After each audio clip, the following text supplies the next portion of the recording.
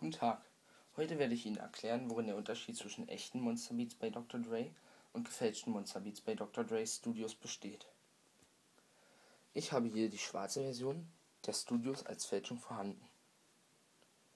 So, als erstes Merkmal kann man erkennen, dass sich hier kein Schild mit einer Seriennummer befindet. Bei den, bei den echten Monster Beats ist dort ein silbernes Schild mit einer Seriennummer angeklebt. Merkmal Nummer 2 die echten Monsterbeats bei Dr. Dre kann man viel weiter ausziehen als diese hier. Das heißt, sie sind um einiges größer im ausgefahrenen Zustand.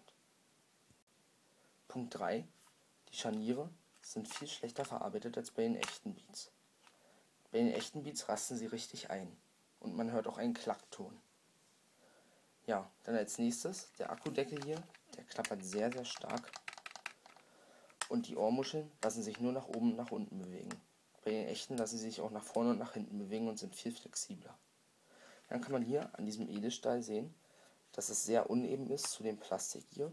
Und an dem Leder kann man erkennen, dass es gewellt ist und damit auch ziemlich schlecht verarbeitet ist. Außerdem bei, sind bei den echten Monster Beats hier keine schwarzen Schrauben, sondern silberne. Nun zum Zubehör. Bei meinen gefälschten Beats kann man erkennen, dass, dass auf dem Kopfhörerkabel das Label von den Beats einfach nur aufgemalt ist. Bei den echten müsste dort eine richtige Prägung vorhanden sein. Das gilt auch für die schwarzen Kopf äh, das gilt auch für das schwarze Kopfhörerkabel. So, als letztes zur Tasche. Hier ist bei den echten noch eine, noch eine Tasche mit Gummizug innen drin vorhanden, um dieses ganze Zubehör dort reinzustecken. Ich hoffe, mein kleines Video hat Ihnen gefallen und auch geholfen. Auf Wiedersehen.